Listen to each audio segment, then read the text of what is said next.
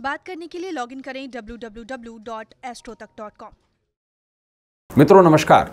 सबसे पहले आप सभी दर्शकों को दीपावली पर्व की हार्दिक शुभकामनाएँ। मैं हूँ आपका मित्र कमल नंदलाल और मैं आप सभी दर्शकों का हार्दिक अभिनंदन करता हूँ। एस्ट्रो तक की खास प्रस्तुति, कमल नंदलाल की भविष्यवाणी, आपका राशिफल। इस राशिफल में बात करेंगे मेष से लेकर मीन राशि के राशिफल की। साथ ही साथ आपको बताएँगे राशि अनुसार कुछ सरल उपाय, राशि अनुसार ही आपका शुभ अंक और शुभ रंग भी। पंचांग बताएँगे और राशिफल के आखिर में आपको बताएँगे एक ऐसा विशेष उपाय जो आपके जीवन की किसी खास समस्या को चुटकियों में दूर कर देगा। तो चलिए राशिफल की शुरुआत करते हैं पंचांग के साथ में। दिन है मंगलवार का, तारीख है 25 अक्टूबर 2022 कार्तिक कृष्ण अमावस्या पर चंद्रमा, तुला राशि और चित्रा नक्षत्र में रहेंगे।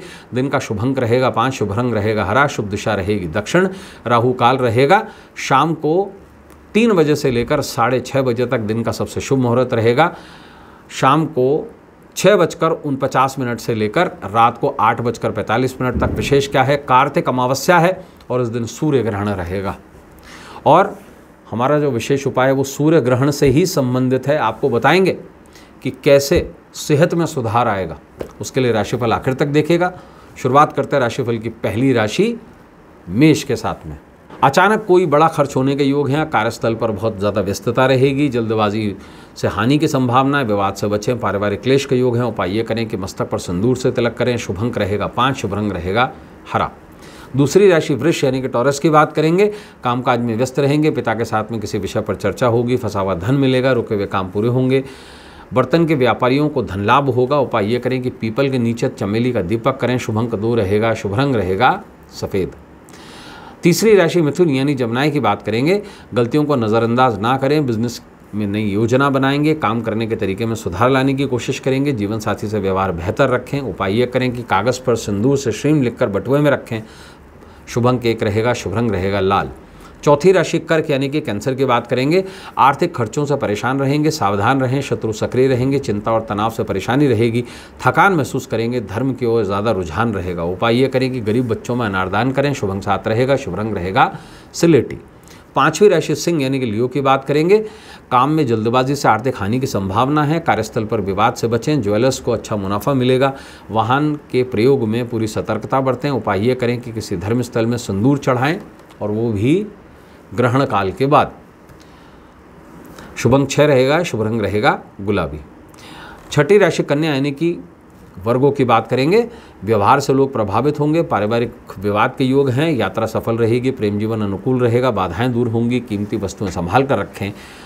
उपाय ये करें कि घी में शहद मिलाकर दीपक करें शुभ अंक एक रहेगा, शुभ रंग रहेगा, लाल। सातवीं राशि तुला यानी कि लिब्रा की बात करेंगे। कार्यकुशलता में वृद्धि होगी मानसिक तनाव से परेशान रहेंगे, संपत्ति में काम, कार्य के से लाभ होगा।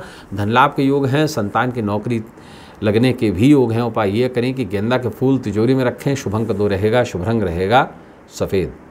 आठवीं राशि वृश्चिक यानी कि स्कॉर्पियो की बात करेंगे। रुके हुए काम में गति आएगी सुनी सुनाई बातों पर ध्यान ना दें। मित्रों के साथ में मनमुटाव के योग हैं। छात्र सफल रहेंगे। किसी आयोजन में शरीक होंगे। उपाय ये करें कि घर की दक्षिण दिशा में दीपक करें। शुभंग पाँच रहेगा शुभ रंग रहेगा, हरा।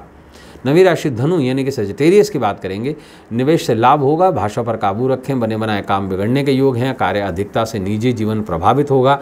परिवार के साथ में खरीदारी करने जाएँगे। उपाय ये करें कि मसूर जो है सिर से वार कर पक्षियों को डालें। शुभ अंक आठ रहेगा शुभ रंग रहेगा, काला। दसवीं राशि मकर यानी कि कैप्रिकॉन की बात करेंगे। आर्थिक स्थिति ठीक रहेगी, अधिकारियों से संबंध सुधरेंगे, कुमारों को विवाह प्रस्ताव मिलेंगे, मान सम्मान में वृद्धि होगी, प्रेमी खरीदारी करने बाज़ार जाएँगे। उपाय ये करें कि पूजा घर में अनार चढ़ाएँ शुभ अंक चार रहेगा शुभ रंग रहेगा, नीला। ग्यारहवीं राशि कुंभ यानी कि एक्वेरियस की बात करेंगे। परिजनों से शुभ समाचार मिलेगा, शत्रु परास्त होंगे, कोई खास आपके विरुद्ध षड्यंत्र रचेगा। वाद विवाद से बचें, कम खर्चे में बहुत बढ़िया खरीदारी करेंगे। उपाय ये करें कि जौ के दाने पर्स में रखें शुभ अंक चार रहेगा शुभ रंग रहेगा नीला। बारहवीं राशि मीन यानी पाइसिस की बात करेंगे। व्यवहार से अधिकारी खुश रहेंगे जीवन साथी की चिंता रहेगी, व्यवसाय की यात्रा सफल रहेगी, बेरोजगारी दूर हो सकती है। प्रयास करें, संतान पर ध्यान दें, उपाय ये करें कि धार्मिक चित्र पर लाल चंदन से तिलक करें। ग्रहण के बाद शुभ अंक आठ रहेगा शुभ रंग रहेगा काला। तो दोस्तों, अब समय है आज के विशेष उपाय का, वो विशेष उपाय जो सेहत में सुधार लाएगा। देखिए, सूर्य ग्रहण का दिन है।